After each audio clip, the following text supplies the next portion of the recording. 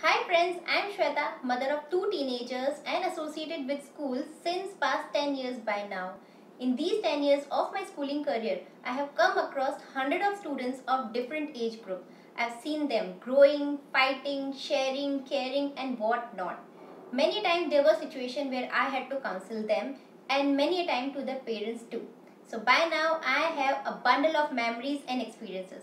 I thought why not share these experiences of mine with you all. If you are facing challenges in raising your kid and don't have any clue what to do, here I come to help you all. Join me on Instagram for daily amazing motherhood and parenting tips and tricks.